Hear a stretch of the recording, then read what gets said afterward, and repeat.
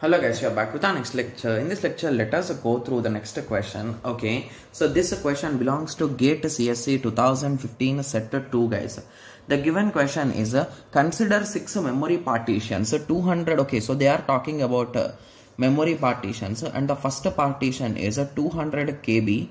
I'm not writing that KB part. Okay, so 400 KB, 600 KB, 500 KB, 300 KB, 250 KB. Okay, so all of them are in terms of KBs only. Okay, okay, these partitions needed to be allocated for four processes. Okay, so the four processes are 357 KB, 210 KB, 468 KB, 491 KB in order. So they are saying in sorry. So they are saying we need to enter them in this particular order only. And they are saying us if the best fit algorithm is used, which partitions are not allocated. So we are going to use a best fit algorithm. So let us start guys. So this is a quite easy and a direct question, right? Yes. So if I want to fit 357, which will be the best option guys? So according to me, the nearest number to this will be 400, right?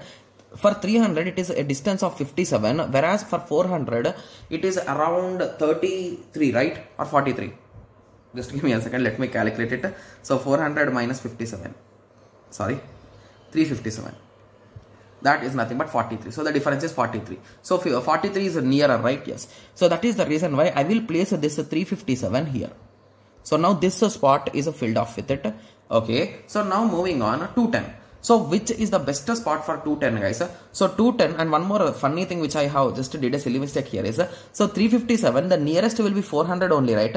Because we can't fit this 357 in this 300 right? Because it will not fit even though right? Yes. So that's a silly thing which i have thought at that time right? Yes. So 210 so 210 cannot fit here. The nearest closest one will be this only. So 210 will fit here.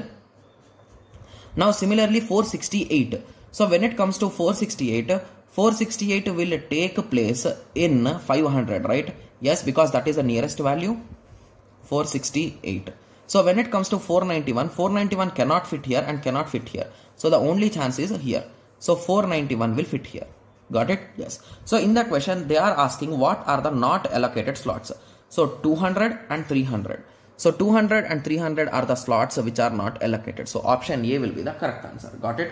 Yes. So it's a quite interesting and easy question right? Yes. And one more silly the first silly thing which i have did, did assumed is so if the address of if the value of this is a 304 at that time i thought that i can fit in this 300 it's not possible right? So even though it is a 300 or even if it is a 301 i required to put it in 400 only because the next approximate value is 400 indirectly right yes. So now i hope everyone got a clear idea with respect to this right? Yes. So in the next lecture let us continue with the next question okay? Yes. So let us meet in next lecture. Thank you. Thanks for watching. Like share and subscribe for more awesome videos like this. Thank you